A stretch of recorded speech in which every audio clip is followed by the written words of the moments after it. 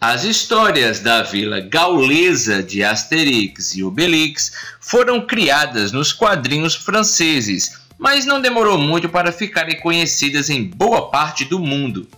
E uma série tão famosa não ficaria restrita apenas aos gibis, e Asterix ganhou vários desenhos, filmes e, é claro, videogames. E hoje falarei do primeiro jogo da série para o console 8 bits da Sega.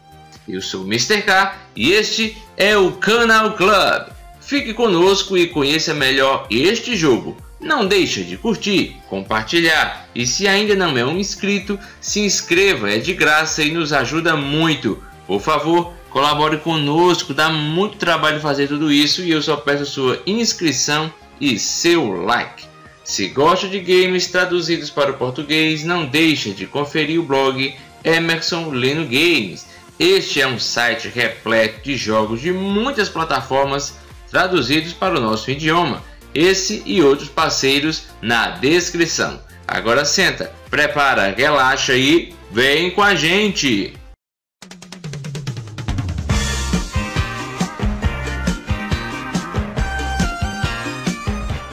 Desenvolvido e publicado pela SEGA, chega no ano de 1991 como exclusivo do Master System o jogo Asterix. Este é um título de plataforma 2D de rolagem lateral que pode ser jogado também em co-op. Como eu sempre faço, vamos ao enredo do jogo. O ano é 50 depois de Cristo e o Império Romano está expandindo seu reino e dominação por todas as terras conhecidas da época, mas existe na Europa uma aldeia gaulesa que não se rende e faz todo o Império Romano passar vergonha por serem sempre derrotados. Dessa maneira, buscando vingança, o imperador César manda sequestrar o druida da aldeia responsável pela porção secreta que faz todos os guerreiros da aldeia ficarem praticamente indestrutíveis o chamado Getaflix. Agora cabe a Asterix e seu melhor amigo Obelix resgatarem Getafix das mãos do Imperador Romano. Embora a trama do jogo não seja nada inovadora, visto que a maioria dos jogos dos anos 80 e início dos anos 90 sempre tinham alguém raptado, esse aqui acertou muito, pois a história é muito fiel aos gibis e animações da série. Embora possa parecer simples, é extremamente condizente com o material original da série. Existem cutscenes boas e bem feitas do começo ao fim do jogo, explicando tudo sobre o mesmo.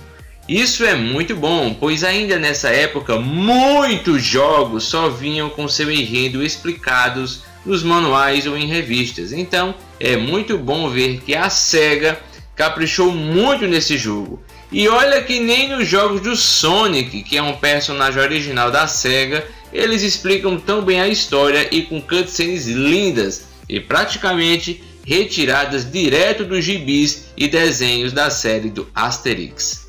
O jogo conta com gráficos extremamente lindos. O jogo é um deleite para os olhos. Tudo é vivo, bonito, vibrante e muito bem animado. Esse jogo é até mesmo mais bonito do que alguns jogos do Mega Drive, que era de 16 bits, e era o console mais poderoso da Sega naquele momento. Realmente, ele parece muito com o jogo de Mega Drive ou Super Nintendo. As paletas de cores foram usadas de maneira primorosa. Os movimentos e animações dos personagens são perfeitas e tem um nível de detalhes muito melhor do que muitos de 16 bits da época. Podemos ver cabelos balançando, olhos piscando e muitos outros detalhes que não eram tão vistos em jogos de plataformas 8 bits como NES e o próprio Mega Drive. E sem esquecer que todas essas animações são bem suaves e fluídas. Sem dúvidas, um dos jogos mais bonitos do console. E se for jogar em emuladores e suavizar e melhorar os gráficos, tudo fica ainda mais bonito. O jogo tem pouco mais de 20 fases apresentadas em 8 séries de estágios. algo que era comum para a época. Outra coisa muito boa do jogo é que ele pode ser jogado por duas pessoas, algo muito bacana e meio esquecido na geração atual de consoles. Os dois personagens são bem distintos. Asterix é mais baixinho e ágil, podendo usar porções vermelhas explosivas, enquanto Obelix é alto, lento e muito forte, nem precisando usar explosivos para quebrar coisas. É um ponto positivo ver personagens em um mesmo jogo com jogabilidade tão diferente e aplicadas tão bem. Vale lembrar que, como eles têm características diferentes, as fases são diferentes para cada um, para assim se ajustar melhor aos personagens. Isso porque você pode escolher a cada fase iniciar com qual irá jogar. Só no início é que não há essa possibilidade para que o jogador possa ver as diferenças deles e decidir com qual irá jogar.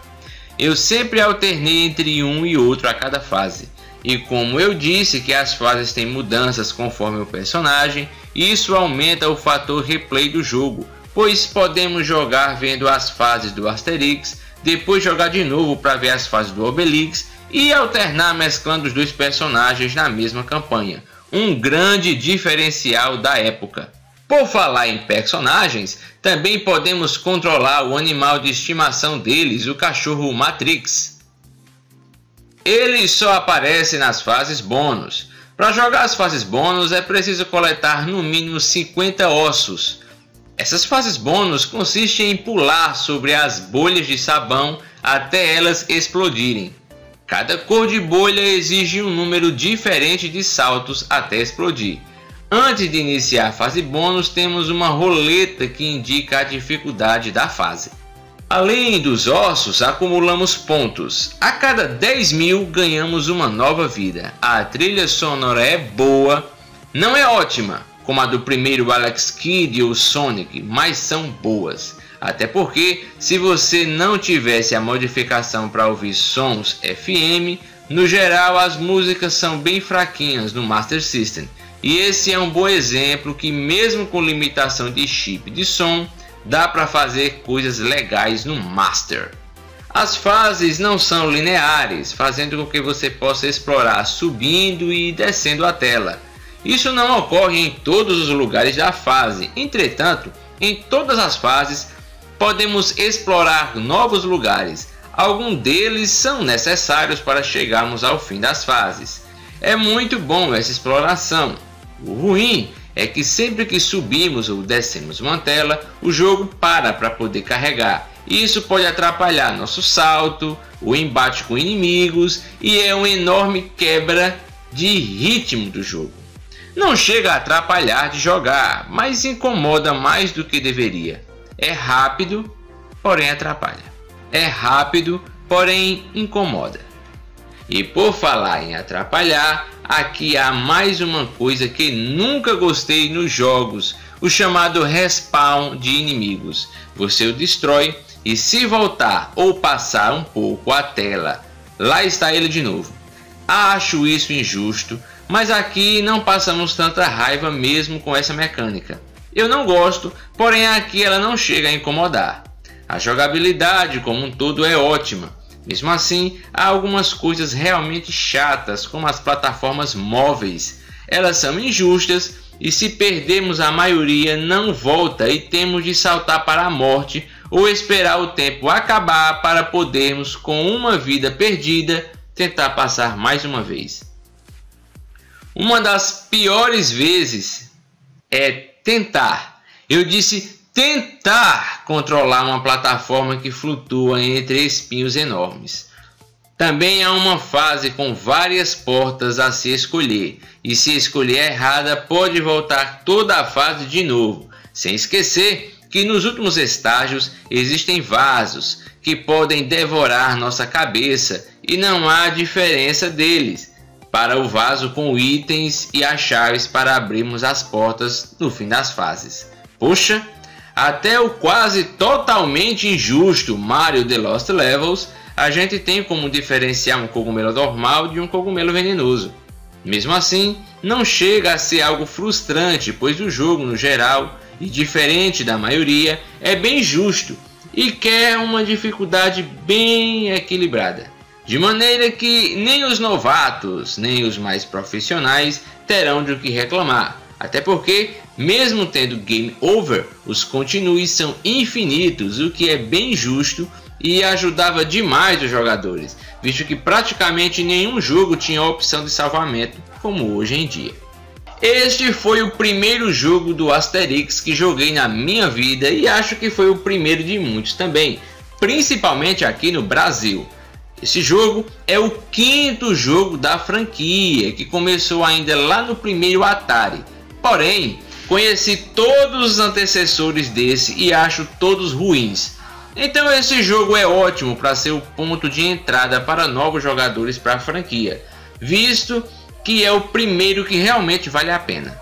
Esse jogo só foi lançado na Europa e América Latina e no Brasil pela Tectoy, pois a franquia não é tão famosa no Japão e América anglo-saxônica.